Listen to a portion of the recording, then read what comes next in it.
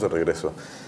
Le hemos ofrecido entrevistar a la mayor cantidad posible de aspirantes a la Procuraduría de los Derechos Humanos del Estado de Guanajuato, a su presidencia. No ha sido posible, no por falta de invitaciones, nosotros hemos extendido invitaciones a varios de ellos. Hoy está con nosotros José Manuel Ramos Robles, quien es uno de estos 19 aspirantes que eh, están siendo analizados por la Secretaría de Gobierno con encargo de Miguel Márquez para formular una terna que irá al Congreso del Estado. Muchas gracias por aceptarnos esta invitación, José Manuel. Siempre el ánimo es la perspectiva que cada uno de ustedes que se anotaron en este proceso tiene de lo que debería ser, lo que es las áreas de oportunidad sobre el tema de la cultura de los derechos humanos en Guanajuato y la aplicación concreta también de las leyes existentes. ¿no? Bienvenido. Muchas gracias Arnoldo, un placer estar aquí contigo, con tu auditorio. Vamos a platicar un poco de quién es José Manuel Ramos Robles. Bueno, tu carrera se ha desarrollado en buena medida en, en ámbitos internacionales, José Manuel. Sí, mira, yo soy guanajuatense de nacimiento, nací en Irapuato y hace mm, casi 16 años salí, salí fuera a estudiar una maestría, siempre relacionada a derechos humanos, ayuda humanitaria. En España. En España, en la Universidad ¿Tu de carrera de Derecho la hiciste aquí en México? Sí, la hice aquí, de hecho aquí en León, en la, en la Ibero. Y, bueno, desde que salí me empecé a vincular a las organizaciones de derechos humanos, estudié cercano al Instituto Pedro Arrupe, de, en la misma Universidad de Deusto, en España. Después tuve la oportunidad de ir jesuitas. con los jesuitas. Bueno, ámbito ibero también, ¿no? Ámbito ibero. Después tuvimos la oportunidad de ir a, Venezuela y bueno, a partir de ahí eh, también trabajando con, con una organización de, de, corte jesuítico en derechos humanos y a partir de ahí con, con alguna trayectoria eh, importante con eh, agencias del sistema de Naciones Unidas. Tu trabajo ha sido consultor, consultor en materia de derechos humanos para organizaciones internacionales. Bueno, además antes de consultor tuve, tuve cargos de más largo plazo, ¿no? por ejemplo con el sistema de Naciones Unidas, Programa de Naciones Unidas para el Desarrollo, también apoyé a programas regionales de cooperación en derechos humanos de los gobiernos de Noruega, de Suecia, de Suiza y de Dinamarca. Todavía estoy relacionado. Me parece muy importante porque, bueno, buena parte del avance en la política o las políticas de derechos humanos en México se han dado por convenios y por acuerdos internacionales. Luego aquí no hemos sido tan proactivos de ir a la delantera tiene que ser bajo la firma de acuerdos que se mueven también muchas de nuestras regulaciones. Y tú conoces ese ámbito precisamente. Tengo la fortuna. Que estás más a la vanguardia que, que, lo que pudieran estar nuestros expertos locales. Pues mira, yo creo que la ventaja que, puedo tener sin conocer el perfil obviamente de los otros 18 es que, que, me ha tocado estar de un lado a otro conociendo experiencias buenas, no tan buenas, regulares, eh, buenas prácticas también. He tenido oportunidad, yo creo que en América Latina es, es, poco lo que me queda por, eh, bueno, por conocer mucho a profundidad, pero teniendo la oportunidad de trabajar, he estado en 15 países.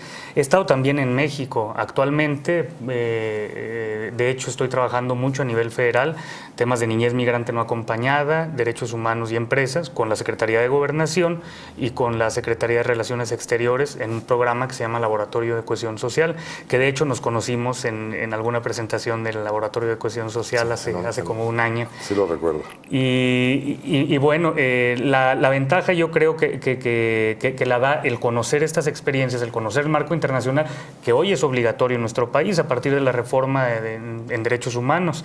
Eh, creo que además tengo una, una, ventaja importante, que es que llevo 15 años de trabajar eh, en, en, la práctica, ¿no? desde un nivel técnico, desde un nivel académico, compaginándolo. Y el esquema de ser en Guanajuato una procuraduría, o sea, un ánimo más como litigioso. ¿Crees que es eficiente? ¿Crees que funciona así? ¿Te sientes eh, también competente para, para, asumirlo? Sí, por supuesto. Yo he trabajado dentro de, este, de esto que te cuento, pues he, trabajado para procuradurías, se llaman en la región o comisiones nacionales o estatales, o procuradurías o razonadores, ¿no? Para los, eh, eh, los brasileños sobre todo sobre todo. A nivel de, Argentina y México sí tenemos procuradurías estatales o comisiones estatales. Es verdad que el término eh, es, como más jurisdiccional de Procuraduría, pero al final si analizamos los mandatos son, son muy similares. Sí me siento totalmente competente. He apoyado a la, a la Federación Iberoamericana del Ombudsman, que, en, la cual hay 51 eh, eh, procuradurías entre nacionales y estatales. He apoyado muy de cerca en generando diagnósticos, planes de trabajo, planes de derechos humanos, tanto a, las eh, procuradurías, en este caso son defensorías, de Costa Rica, de Bolivia, con Nicaragua lo he logrado trabajar también, con Honduras.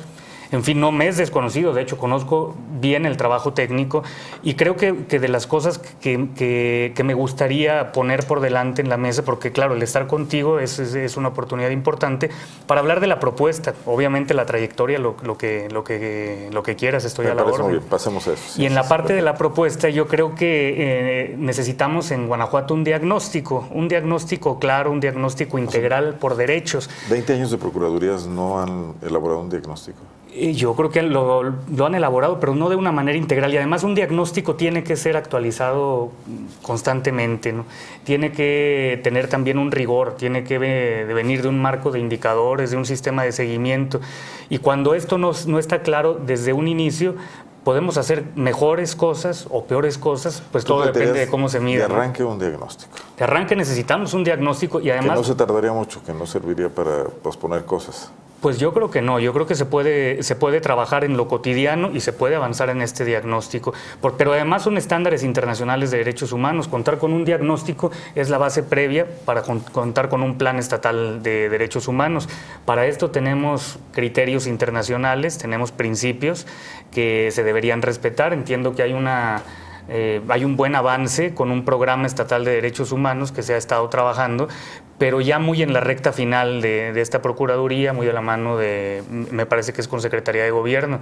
Habría que ver que de eso se puede retomar, pero volver eh, un paso atrás al diagnóstico, tener este plan que sea consultado ampliamente con academia, con sociedad civil, con los tres poderes, porque solo así, eh, con, un, con, una herramienta de este estilo de consenso, vamos a poder tener la película eh, pareja, eh, la vamos a poder entender y vamos a poder fijarnos metas y estándares de hacia dónde queremos llevar la situación en Guanajuato y lo vamos a poder dividir por temas, derechos de las mujeres, derechos de pueblos indígenas, derechos económicos, sociales y culturales, todo lo que tenemos, los retos que tenías, lo de tortura que estaba escuchando. Organizaciones no gubernamentales también, activistas de derechos humanos participarían. Evidentemente tiene que ser algo de, consenso amplio y si tenemos que invertir tiempo en esto, yo creo que es el tiempo mejor invertido que puede haber.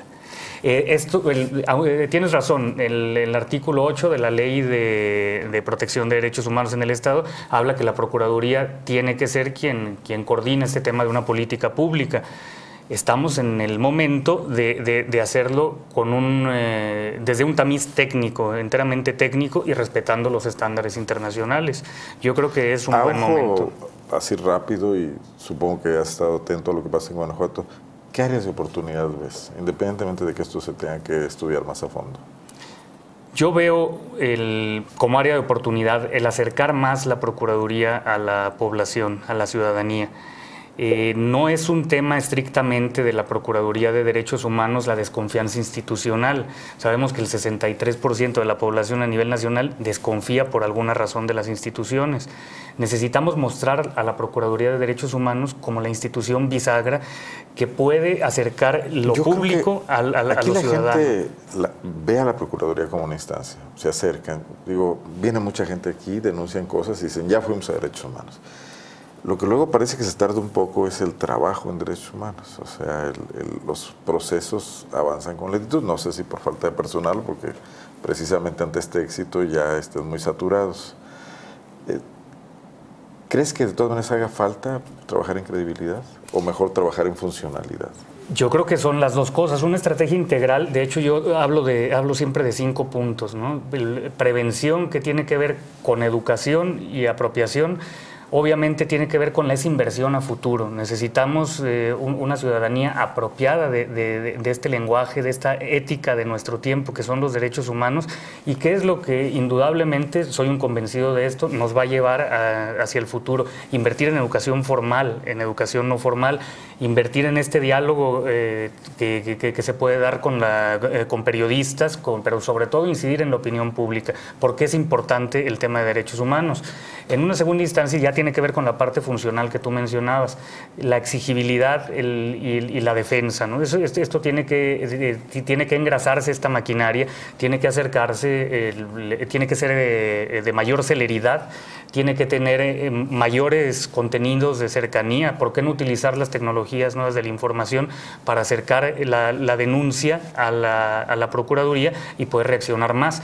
Pero hay un tema también que escuchaba yo en la entrevista anterior y que es importante en esta oportunidad de remozar a la Procuraduría de Derechos Humanos del Estado, que tiene que ver con la atención a víctimas.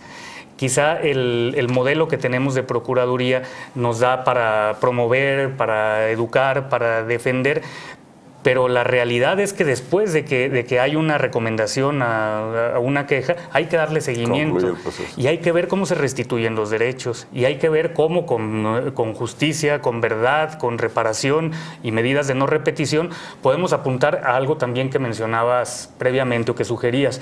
La Procuraduría no debe ser visto como un nuevo ministerio público o como, como otra ventanilla del Ejecutivo, alternativo. porque entonces no tiene ningún sentido. Por eso es que también yo creo... Si el Ministerio Público te falla también hay violan tus derechos humanos. Por supuesto.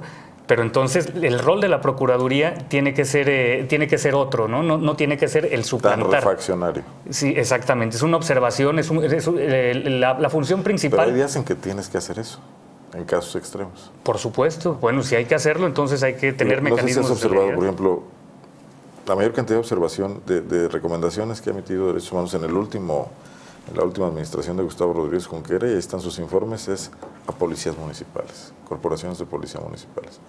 Y entre estas, pues las principales ciudades del Estado.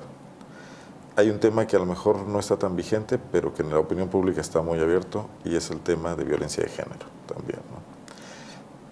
¿Eso los tienes detectados? Por ¿Trabajarías en ese sentido? Por supuesto, yo creo que, que sí, el, el, que en el estado del año pasado, bueno, del 14 a 2015, que es cuando tenemos las cifras, incrementen los homicidios a mujeres o femicidios en un 30%, es un, es un tema grave, ¿no? Y es un tema al que hay que ponerle los reflectores y sobre el que hay que reaccionar. y ya feminicidios es el extremo, pero previo a feminicidios hay hay una cantidad un largo tramo de violencia de género que, no es atendida por las instituciones. Y esto se combate con, con, prevención, con educación, pero con mayor efectividad ¿no? de, a, la, hora de la, de, la defensa y con reparación, lo que te mencionaba. ¿no? Acompañar, la Procuraduría debe acompañar a las instituciones hasta que se restituyan los derechos y no quedarse, no quedarse a medias. Te pregunto, José Manuel, este, un poco ya en la parte final de la entrevista, ¿cómo te sentiste yendo a esta entrevista en la Secretaría de Gobierno? Me da la impresión de que pues la mayor parte de ustedes, de los 19 que se registraron, son de alguna manera especialistas en el tema de derechos humanos, pero supongo que fueron entrevistados por alguien que no era especialista en los derechos humanos. ¿no? ¿Cómo, ¿Cómo hacer para que esta situación mejore? ¿no? Que el sinodal esté mejor preparado que incluso que el, que el postulante o que quien está este, aspirando. Y la intervención del Ejecutivo y la, y la nueva tendencia que se prevé en una reforma de ley que está en proceso para que solo el legislativo sea el que intervenga en en la designación de los ombudsman y en general en el trabajo de la Procuraduría? Sí, bueno, primero yo veo, la verdad es que vi a, un secretario de, gobierno muy actualizado en temas de derechos humanos. Él, me parece que fui de los últimos en, en, ser entrevistados. Fue una entrevista muy amable, cordial, respetuosa y, pudimos hablar de nuestras propuestas, pudimos hablar de, nuestras preocupaciones, pude manifestarle también esta visión eh, de esta necesidad de, remozar también la ley, la ley estatal de derechos humanos, la ley de protección de derechos humanos, porque pues, definitivamente la, Constitución y los estándares internacionales ya están más arriba de eso.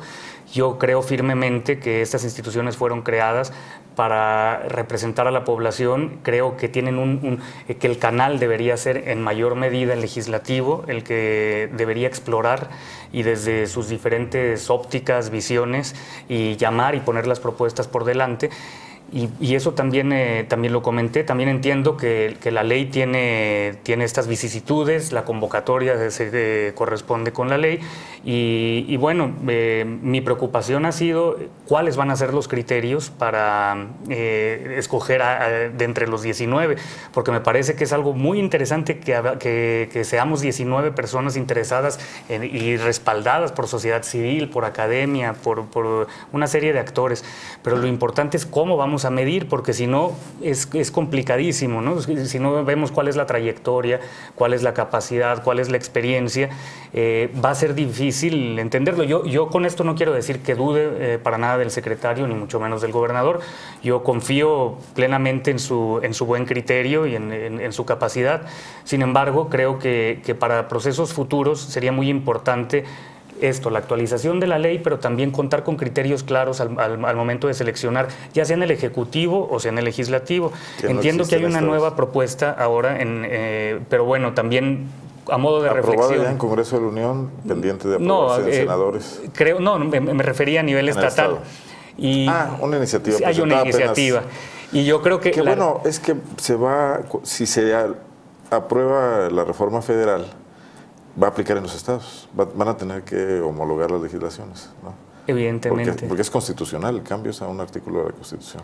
Evidentemente, y en este tema, el que tengamos las reglas que tenemos hoy en Guanajuato y el proceso que tenemos, eh, la verdad es que siendo reflexivos, es, eh, no es eh, culpa del Ejecutivo, si le podemos llamar culpa, ni del Legislativo, yo creo que es de los dos y de la ciudadanía misma y de la academia. Culpa son del tiempo y no de ¿Por qué se nos fue el tiempo? Y a lo mejor también de los medios, ¿verdad? Se nos fue. Y, bueno, tenemos esto. Yo voy, a, voy a estar aquí apoyando, este es mi tema, esta es mi vocación, es mi vida, yo trabajo en, en derechos humanos. Probablemente eh, seguiré, eh, si, si, tenemos esta, esta posibilidad, sirviendo desde la Procuraduría, que creo que tengo todas las capacidades, todas las cualidades, toda la experiencia, y si no es así, como, como guanajuatense, apoyando desde, desde donde estemos. Muy bien. que, pues, pues, yo te agradezco mucho. Mucha suerte. Gracias a ti. Yo creo que la Eterna se conocerá pues, en el arranque de esta semana, si no es que el mismo día de hoy y ya iniciará su trabajo el Congreso, que estamos sobre el tiempo porque le quedan exactamente ocho días para definir quién será el nuevo ombudsman de Guanajuato. Yo le agradezco mucho a José Manuel Ramos Robles, irapuatense, trabajador en organismos internacionales, eh, todos vinculados al tema de derechos humanos, pues que nos haya aceptado esta invitación aquí a platicar. Muchas gracias. estamos viendo. Gracias. Vamos a una pausa.